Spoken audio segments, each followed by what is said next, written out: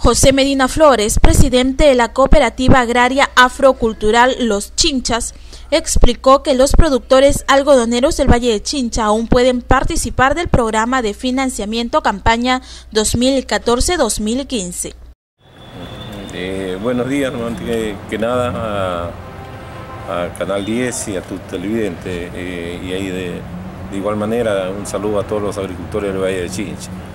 Eh, como tú has mencionado sobre el término, pero es un término relativo de fin de eh, finalización de crédito de campaña, puesto que algunos agricultores han instalado su cultivo con recursos propios y tienen la oportunidad de venir a inscribirse y solicitar para finalización de campaña. Entonces la organización o el gremio de productores algodoneros del Valle de Chincha está a disposición de los agricultores para el apoyo correspondiente. Eh, tenemos alrededor de 300 agricultores, eh, pero todos no han venido a inscribirse, pero estamos para apoyarlos en, lo que quiera el agricultor.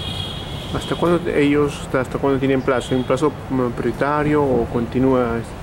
Eh, la fecha siempre límite es el 30 de octubre, pero el banco no, no oficialmente no nos ha pasado una fecha exacta. O sea que estamos a espera de la comunicación del agrobanco para determinar el fin de las inscripciones. ¿Cuáles son los requisitos para acceder a, este, a esta campaña de financiamiento? Bueno, los documentos necesarios para un financiamiento, ¿no? como la identificación personal, eh, la identificación del lote o el terreno donde se va a cultivar el, algodón y otros de, índole de servicio que, siempre se requiere como es el agua y algo, unos otros pagos. ¿no? Eh, eso serían lo más importante y lógicamente el pago de agremiación. ¿Hasta el momento continúa la campaña de inscripción o ya quedó ahí? Eh, no, por el momento, como te digo, está relativo, pero esperamos una oficialización del agrobanco. Ah, también quiero puntualizar algunas cosas, ¿no? Este, en la campaña anterior, o sea, la 13-14, eh, el ministerio, bajo el problema de competitividad, dio unos, unos bonos y unos créditos adicionales, ¿no?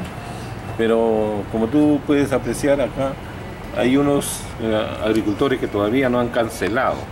Entonces llamamos a estos agricultores de la campaña anterior a que vengan a cancelar lo más antes, de tal manera que estén hábiles para todo, para todo crédito financiero, no solamente del agrobanco, sino de cualquier entidad financiera.